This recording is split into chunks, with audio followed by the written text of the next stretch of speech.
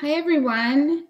Uh, thank you so much for joining us for another um, Team Maura chat. We love doing these every week. Um, it's a nice way for for me to be able to connect with people um, in the district outside of my house. So I appreciate you all showing up, popping in, and popping out, whichever you need to do. Um, tonight, our chat is um, going to be on the theme of mental health. So May is Mental Health Awareness Week. So we've been sort of posting some tips and um, just some resources on our Facebook page last week and this week. And then tonight we're going to have a little chat um, about what we can do for our own mental, mental health and for the mental health of our loved ones. So about eight weeks ago, as you know, our lives um, changed. Everyone's lives changed. For some of us, life came to a complete standstill and we adapted to sheltering at home. And all at once, the whirlwind of our regular lives with work and kids and carpools and meetings, it all stopped. And for others, um, this really unpredictable element of fear and anxiety has been added to their work lives. Um, some people carry an unbearably heavy burden. Um, essential workers who go to work every day with the fear for their health and for the health of their loved ones. All of us, whether we shelter at home or go out into the world to provide essential work, we were all yanked from our familiar routines and plunked down in the midst of this global pandemic. So, the new reality of social distancing is really taking its toll on our mental health. The stress of balancing working from home and caring for loved ones and overseeing your child's distance learning, it's causing a lot of anxiety and depression. And that heavy burden that is carried by our essential workers um, can really cause some mental distress. So you may notice yourself or others around you are more edgy or irritable or angry. Um, people feel helpless, nervous and anxious, hopeless or sad. And um, we're here tonight to talk about those things, and so people know that they're that you are not alone. Uh, this is something that we should all talk about. It's we need to protect our mental health during this stressful and ever-changing situation. So we want to recognize our feelings tonight and um, talk about them, give you some tips and some resources, and we're going to treat our mental health like our physical health. Check in with ourselves just like we do with doctors' checkups. So tonight I have two really special guests who are friends of mine. Um, some of my most trusted resources are the smart women I have met um, in the community. So I am really excited to welcome Annie Barsch, who is a licensed marriage and family therapist. She has been a therapist for the past 15 years at Centennial Counseling, which is a private practice. She is the director of the Sandwich Office, and her specialties are PTSD, suicide, grief, addiction, parenting, and couples. And second, we will be joined by Gabby Loboda, who has been working with students, children, and adolescents since 1999 when she was an at risk counselor in the East Aurora School District. She continued with her education and received a master's in social work in 2003 and started a career with the Department of Juvenile Justice, where she received her license as a social worker and then her clinical social work license, which she currently holds today. After 13 years working at the Youth Center in St. Charles, she started working with the West Aurora School District and works at the middle, a middle school and now at Hall Elementary School as a school social worker. So I'm so excited to have these friends and mental health professionals join us today. Welcome. Hi, Annie. Hi, thank you. Hi, Gabby. Hi, Maura. Hi, good Annie. to see you. Thank you for coming. Sure, so real quickly, let's just, how are both of you? You know, I know you're both working from home and you both have kids, to, you both have little ones at home too. So how, how are you doing? Yeah, I thought of that this morning that all three of us have teenagers and toddlers, and that says a lot right there. That's crazy. We do. Yeah. We do. Um, hanging in there. Again, there's the up days and the down days. And um, whenever the weather's nice, that certainly helps. Um, yeah, so doing the best we can and, and, really just trying to focus on like what needs to happen today. Yes, focus on the present, definitely. How about you, Gabby?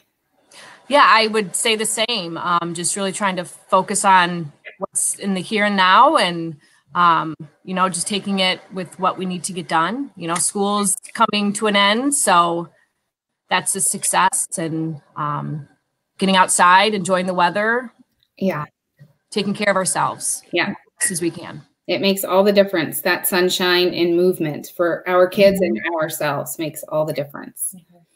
So let's um, start off tonight by demystifying therapy.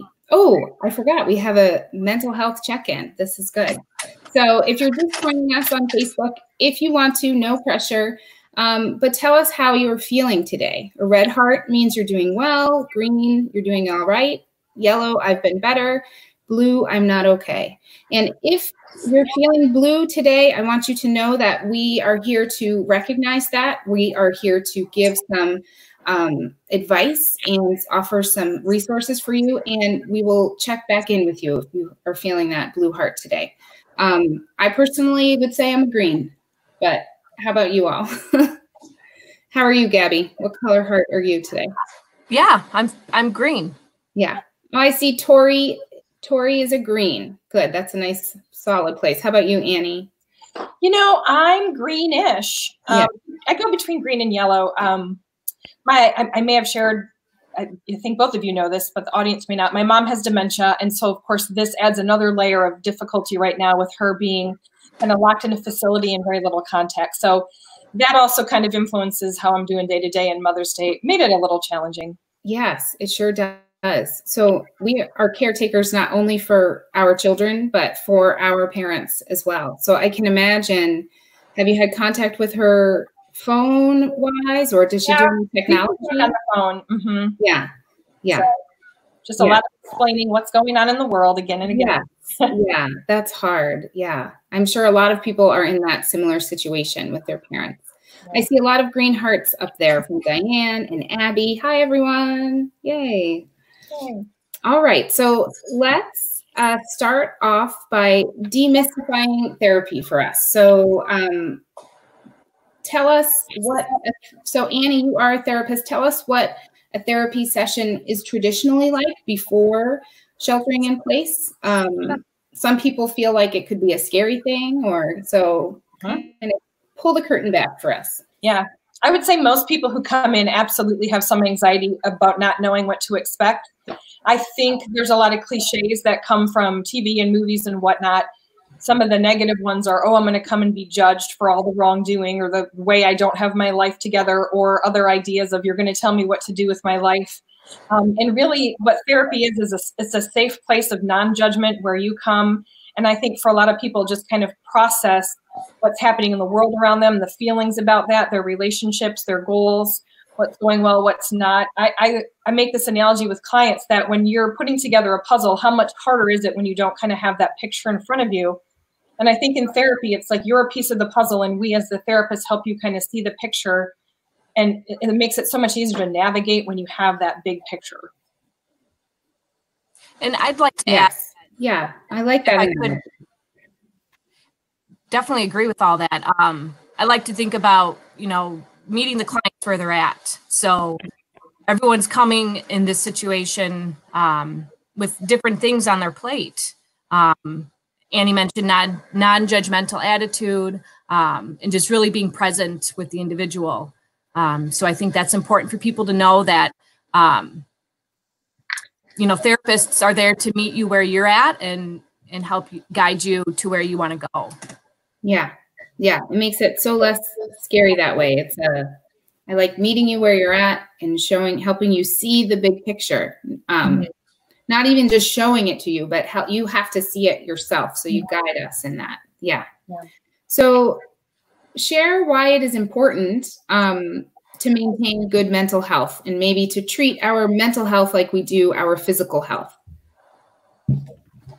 So I I like to think that um, you know prevention is key for anything, and just like you asked, you know, at the beginning of this webinar, um, that you know for people to check in and making sure we're checking in with ourselves um, that's mental health you're you're doing a little self-assessment Um, and we all need to kind of take that moment to reflect um, as often as we can remember to um, and figure out different strategies to kind of help us get back to a good working place. Um, so it's absolutely essential.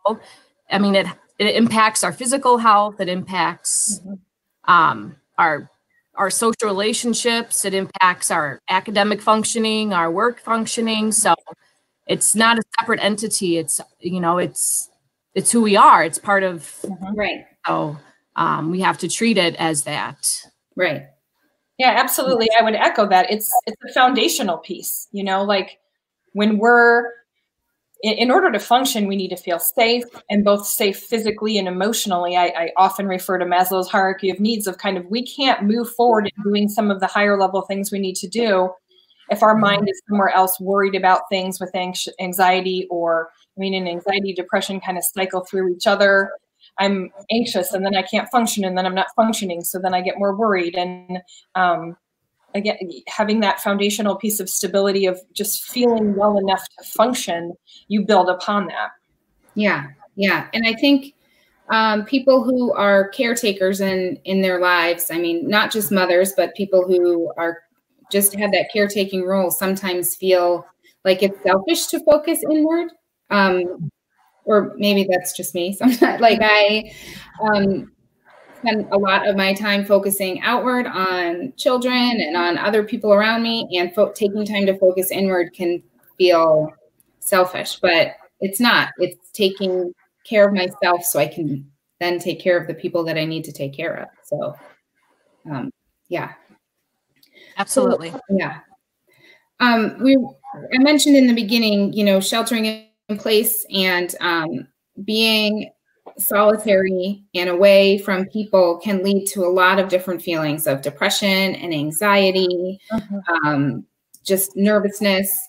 Can, can you tell us about some common signs that someone that we love or ourselves may be struggling with in their mental health? What should we be looking for? Yeah, I often will tell people um, specifically with depression, you kind of look at are you operating on either end of the spectrum? So are you sleeping too much or are you not sleeping enough? Are you eating too much or not eating enough? Um, are, with that piece, it's really like how are you functioning? Are you able to do the things you need to do? Where's your head at? Where's your mind at? Um, now the pandemic makes it challenging because there's a lot of a lot of us, I would say most of us have kind of shifted into survival mode and when it goes back to like what do i have to do um, because we are just feeling overwhelmed and heavy. And so there's kind of there's even this concept of temporary depression and temporary situational anxiety versus clinical anxiety and depression. So i think at the very least people are experiencing that. Yeah. Is and i think i know your answer to this question but if you're having situational depression and anxiety is it absolutely okay to reach out to, to therapy and to get that help you need for that moment, even if it might not be a clinical situation? Absolutely. That's a yes. at least 50% of the people I think that come. Okay. Yeah. yeah. Yeah. So that's good to good for everyone to know that it you don't have to feel um, so deep down inside in a hole, just go get the help you need right now, and then you yeah. can be healthy and move forward. Yeah, a lot of people, and I'll just interject this quickly. A lot of people feel like, oh, I have to be on the edge to justify therapy, and there's this reality of like, if you come to therapy, sometimes we can help you prevent getting to the edge or right. over the edge. Right, and that's what we want. We don't want to be on the edge. Yeah. Yeah. Yep. Yeah. And your question more too about um, signs and symptoms when we think about children and adolescents. Yeah you know, a drastic shift in, you know, how they usually are. And, and I mean, you have to take that also um, understanding development of children and adolescents. Um, but, you know, are they not participating in things like they used to, um, finding joy or um, pleasure and, you know, previously liked activities. And, you know, Annie, you know, mentioned the pandemic and, you know, I think a lot of children right now are struggling with not enjoying things that they used to enjoy. Yeah. Because like the world's just kind of it's such an uneasy place. Um, so I think we know our children the best, and um, you know, if if someone's seeing a drastic shift and it lasts, you know, a long time, and um, or there's any you know thoughts or communication about self harm or anything like that, then those are definite reasons to reach out um, mm-hmm. for extra assistance. Yes. And, and as a parent, I know this is a little further down on our line, but as a parent, if you're seeing that, who would you reach out to? You know, um, would you reach out to your school social worker or? Um, I think definitely um, school social worker is a great resource, especially now. Um, you know, I'm connecting with more families probably now than I had when we were in school building. Um, so that's definitely resource, not just now, but always.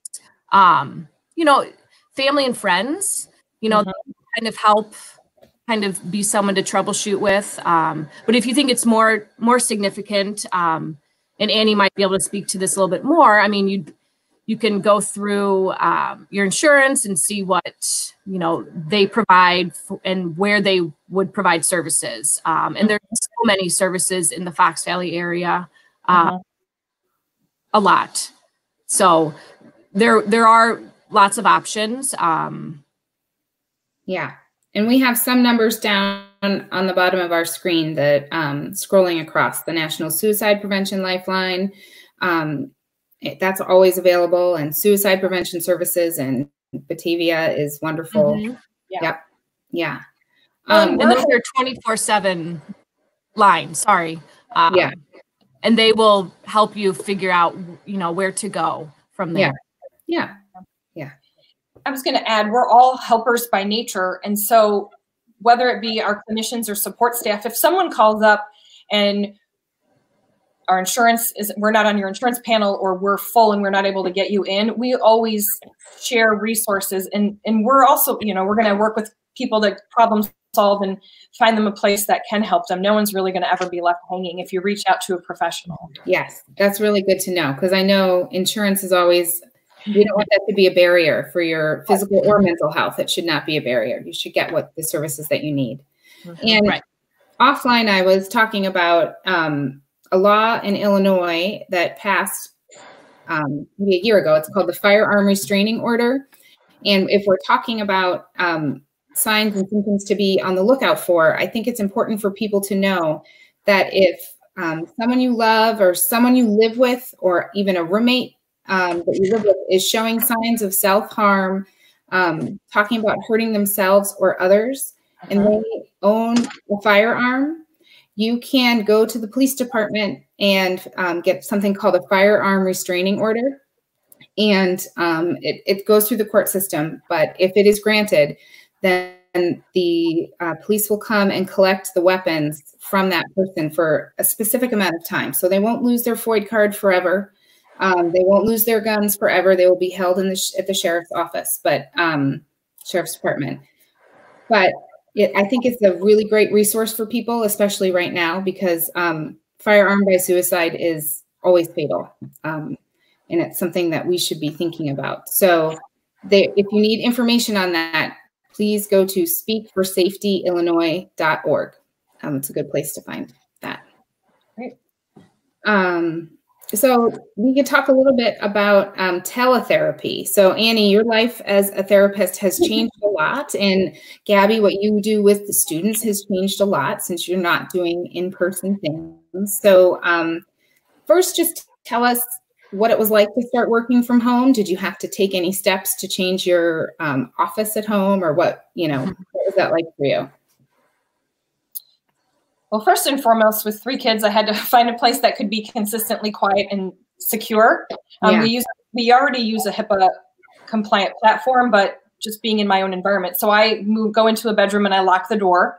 Um, and then, um, yeah, the shift was really um, working people through the anxiety. I think it helps when you have this pre-existing relationship and you can kind of pick up where you where you left off. But I think in the beginning too, there was just uh, um, the awkwardness of like people not knowing what to expect. Anytime there's an unknown, you worry about what it's going to be like. And and so I I would even explain to the therapist I'm supervising like the first five minutes will feel a little weird, and then you'll get into it, and you'll be it'll be like you're back in the room Right. It body language a little harder, um, but th- th- I think you just ask more questions. You know, like you seem flat.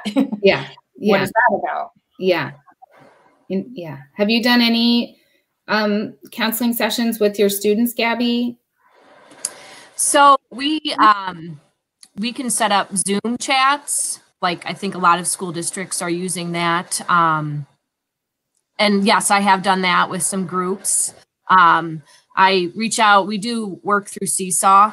Um, that's the the forum that our district uses. Um, so you know you can send personal messages to parents, um, and I have classrooms that I'm a, a part of, and I have my caseload. Um, and then it really, I offered it to any class if they wanted me to be a part of their learning um, to kind of just provide uh, coping strategies, uh, mindfulness activities, um, or just a resource.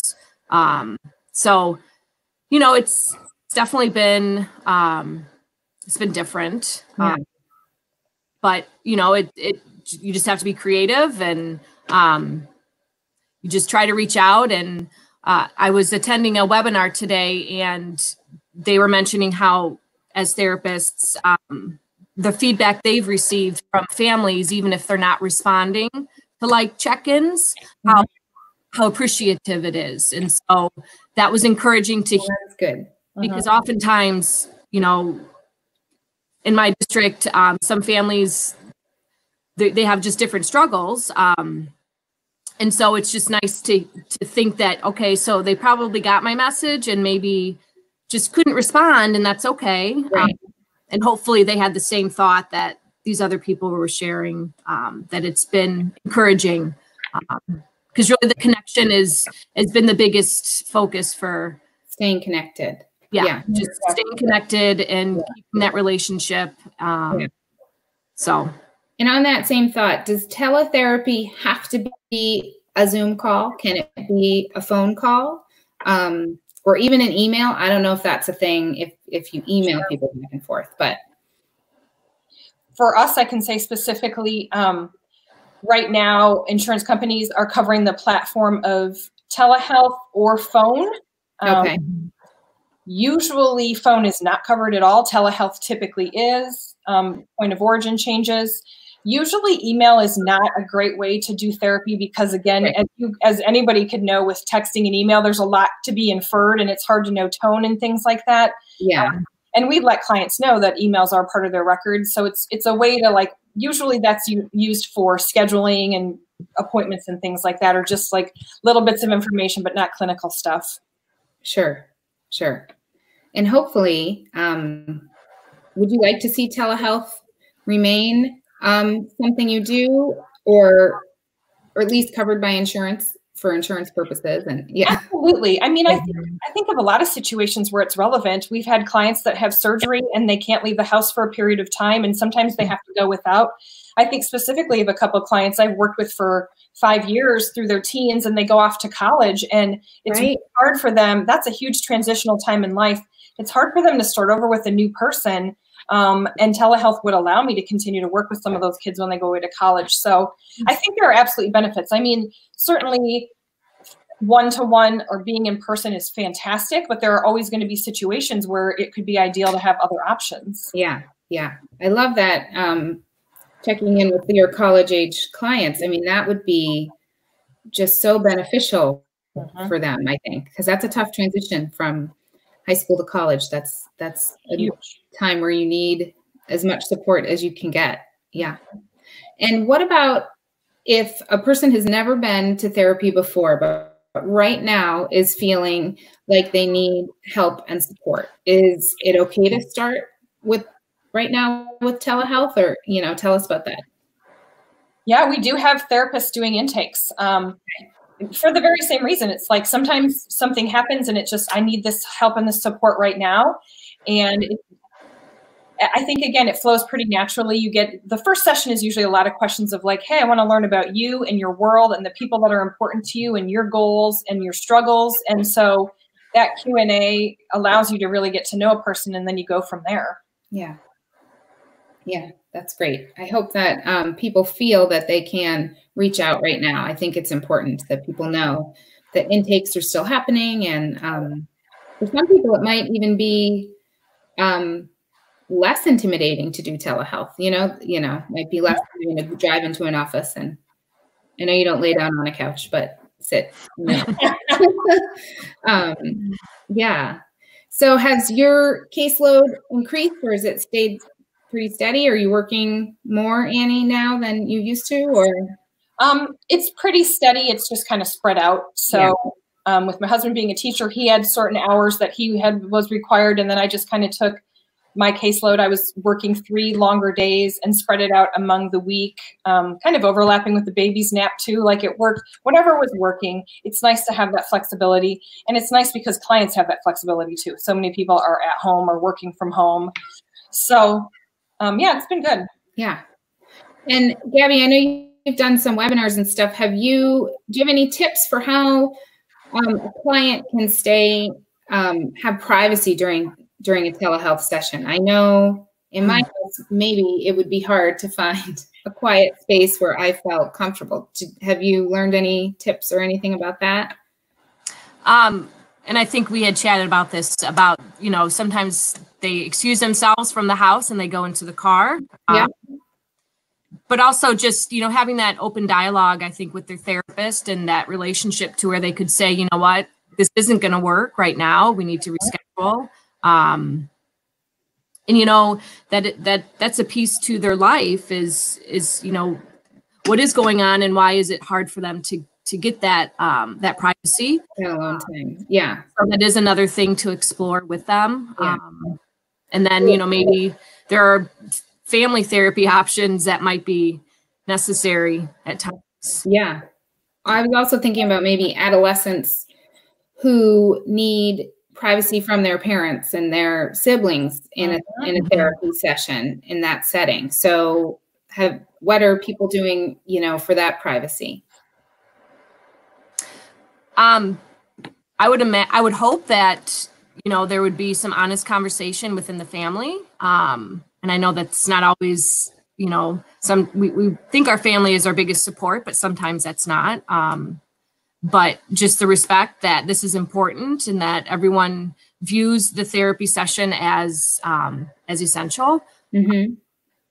Yeah, yeah. I, I, Annie probably has more like live experience with that. Yeah, I've had teenagers go out on the deck, go out in their car. I've had someone do a session in the bathroom. It's like whatever it takes to get mm-hmm. privacy. Yeah. Um, but I do like the flexibility piece. I'll throw in a lot of practices, not just ours, a lot that I've talked to during this period of time are suspending their kind of no-show late cancel fees because life is so unpredictable. Yeah. I, I, I had a, a, mother once, I know she has like two kids under the age of four and we were supposed to meet. I usually check in like, hey, I'm going to hop online in five minutes. And she was like, listen, I have a rare opportunity to take a nap.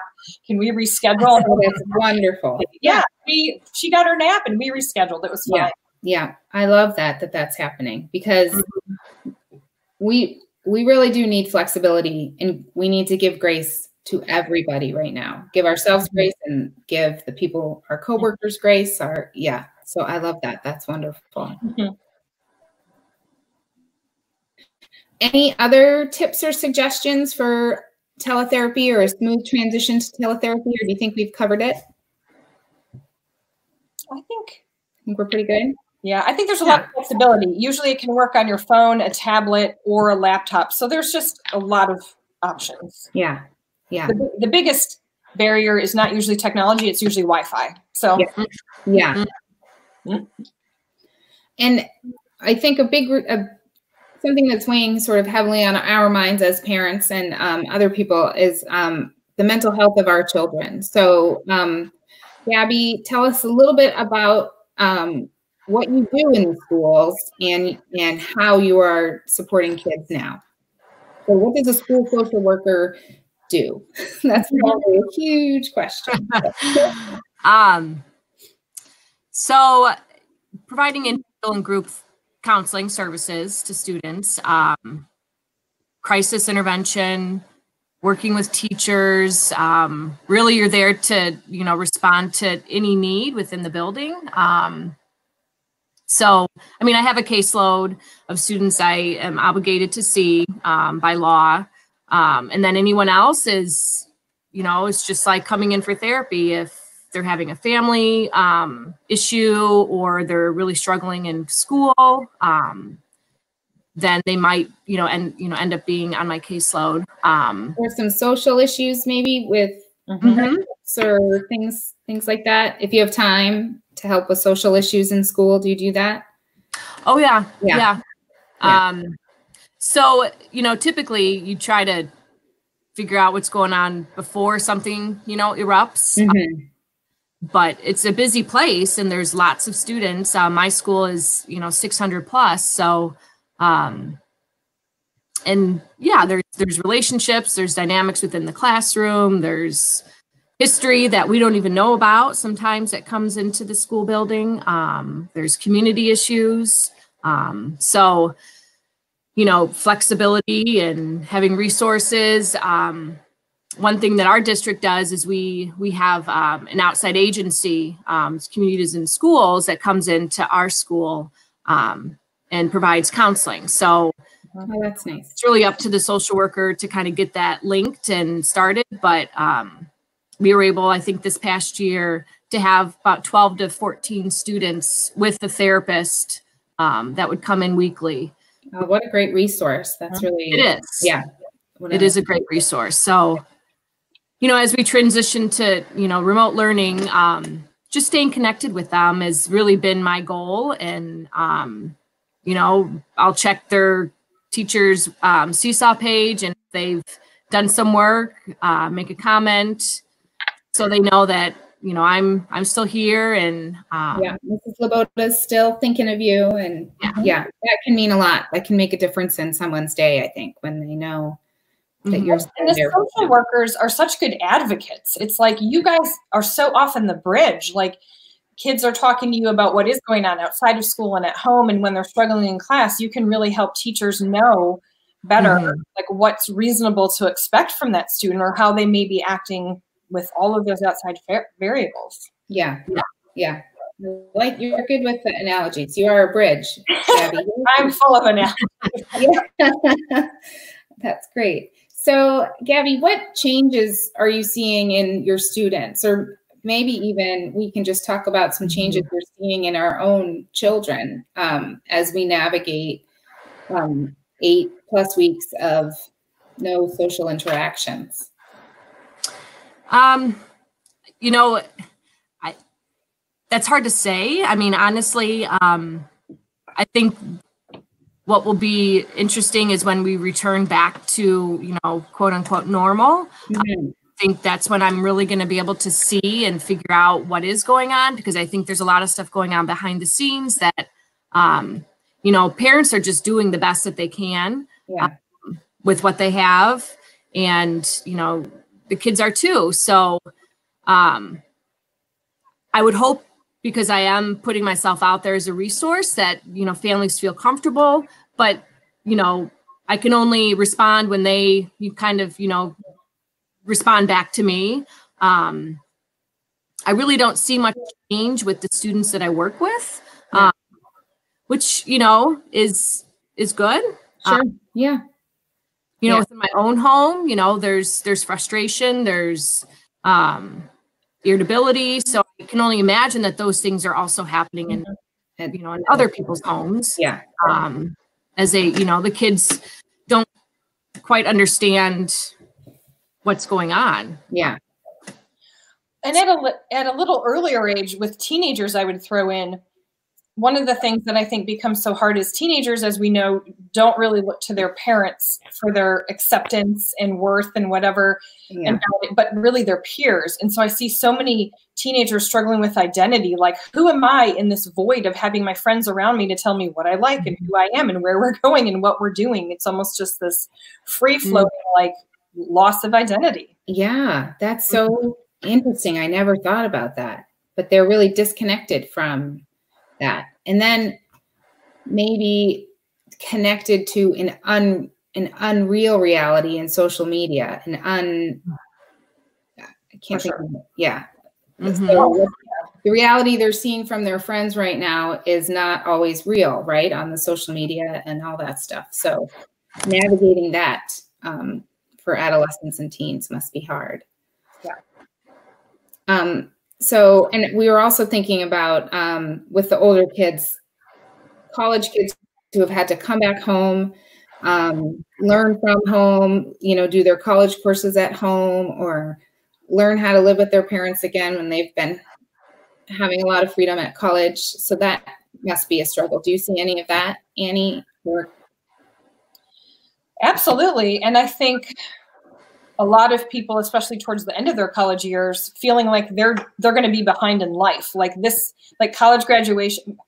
We all remember being that age. It's like college graduation is the starting line. And this is when my life starts, and all these things are going to happen. And now I'm going to be behind. And so, again, there's so much shifting perspective of like, okay, like big picture is there yeah. really a starting line? Some people have false starts, you know, like yeah, yeah. Yeah. Yeah. I, I end up telling most of my clients I went to college initially to be a chef, and here I am as a therapist. So I didn't know that. Yeah. Wow. We how come you haven't invited me over for dinner? I didn't take all the plans. Oh, okay. yeah, that's a good point of feeling like your life is on pause, so you're falling behind. But really, all of our lives are on pause right now. Um, and we will all get started and get moving together. So, what are some signs that your child might be struggling with mental health? What are some things that we should look out for? So, I think, you know, when we think about who they are day to day, if we're seeing some shifts, um, you know, like Annie had mentioned earlier, the sleep habits, eating habits, um, you know, loss of interest in things, um, more irritability than what's to be expected at their age level. Um, and this would be something that would continue for a while. Sure. Not talking just a couple days, but a couple weeks. Um, so, yeah. And any any talk of self self harm, as we said, is something that we should immediately seek help and support for. Sure. Um, that's really important. And I think it's important um, at this point to pause for a moment and just talk about, as I talked about with the firearm restraining order, um, something that can really help um, our kids living in homes with guns is a program that's called Be Smart for Kids.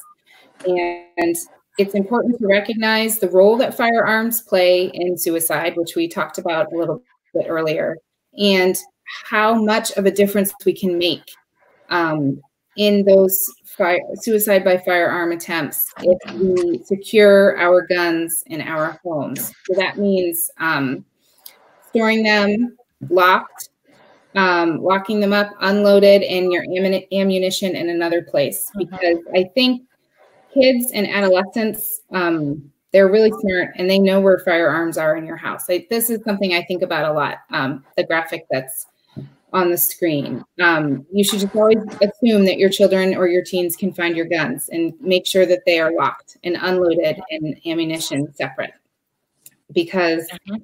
that's the hugest way to mitigate the risk of firearm by suicide or accidental shootings. So we're all stuck at home. We're all feeling isolated and anxious. So this is something that's really important. Mm-hmm. And I just read a report that those that accidental deaths by firearm has gone up during the lockdown. Yeah, mm. that is so scary to me. Mm-hmm. Um, I, just that sentence assume that children and teens can find your guns. I think that everyone should just be at that baseline because um, we want to keep our kids safe. They're naturally curious, um, impulsive, and it's up to us mm-hmm. to keep them safe. So I think that's a good stat. And if you're interested in more information, you can go to besmartforkids.org um, is a great website for um, tips and tools to keep your firearms safe in your house. Um, so let's see, how about some resources for parents? So we're on the lookout for how our kids are doing. Um, what can we do to foster some healthy child development if um, our kids are feeling anxious? And you know we'll we'll go get supports from mental health professionals if we need them but what are some things we as parents can do around the home to support our children's mental health so I think you know self care for yourself is important. Um, but as children are exploring with parents about how they're feeling, um, you know, just really listening, um, not trying to always have the answer. Um, asking yourself, am I listening to respond or am I listening to really understand what they're saying? Um, you know, you mentioned college students and, um, you know, oh, well, maybe for a parent, it's like, well, you don't get to go to your college graduation or a high school graduation. Well, but for that child, that could be really significant. Um, so, really, you know, listening and kind of meeting them where they're at, um, I think is is a good way to see kind of things are at for them. Um, yeah. to kind of you know how to navigate. And and I would say you just hit two things on the head for me is that if I don't take care of myself, it's hard for me to listen and mm-hmm. not just respond. Mm-hmm. You know, the moments when I'm most tired and feeling most emotionally depleted are the moments where I don't mm-hmm. really listen to my kids. I just say, whatever, go turn the on. Or so that's really important. I cannot be a good listener for my kids if I don't take care of myself.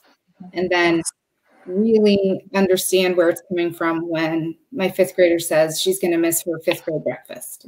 Or no, what she says is, I'm not going to get a donut this year. And I say, Are you kidding me? We have donuts all the time. But that's not what she really means. Mm-hmm. She means she's missing that conclusion to fifth grade, mm-hmm. celebration, and that closure. So that's important. Right. Yeah, mm-hmm. validation goes a long way. So listening and then validating what you're hearing, whether you, I tell people all the time, validating doesn't mean you agree with it. It means you hear it. Right. Um, yeah.